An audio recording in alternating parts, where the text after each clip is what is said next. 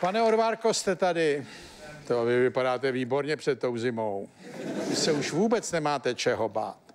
No, už to tam vidíte. Bizarní soutěžná šampiona vydržel ležet 55 hodin. Teda s přestávkama na to, chodil na to, ale tuto je soutěž, který bych se docela ochotně zúčastnil taky. Druhá věc je, i to může se v tuhle zimu hodit, protože ležení šetří energii a když máte dobrou peřinu, co by vám chybělo? Američanka se cítí být vlkem, duševní onemocnění odmítá. No bodej, no tak to dneska už vůbec. Ona teda ve volném čase občas chodí uh, s vlčím ocasem a dává si vlčí uši, ale to není, znamená, že je nemocná, prostě se cítí vlkem.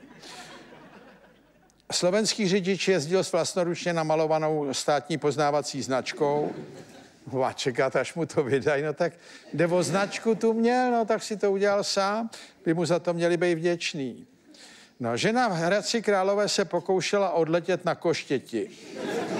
To je kolegyně tý, co si myslí, že je vlk možná a předtím měla obtěžovat hosty restaurace. Asi nemohla vzlítnout, tak byla, tak byla podrážděná. Polovina DNA člověka je shodná s banánem. To budu muset ověřit, to se mi nezdá, tahle informace. Tak, to by bylo všechno.